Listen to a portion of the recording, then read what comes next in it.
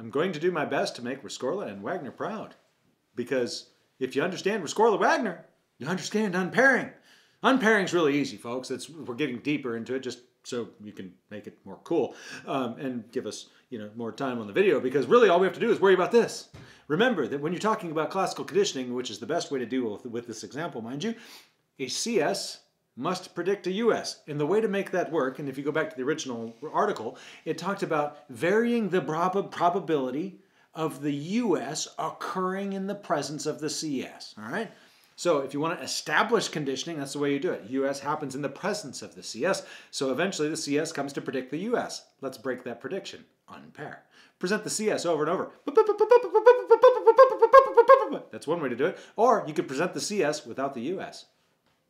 Actually, you could still present the CS, but just make sure it's not contingent and that there's no Same predictability and same time or predictability. Actually, it's you don't want the same time. That's simultaneous conditioning. It doesn't work as well. Uh, so trace conditioning. So anyway, you get the idea, folks. You're going to unpair something by breaking the predictability between the two stimuli of a CS and a US.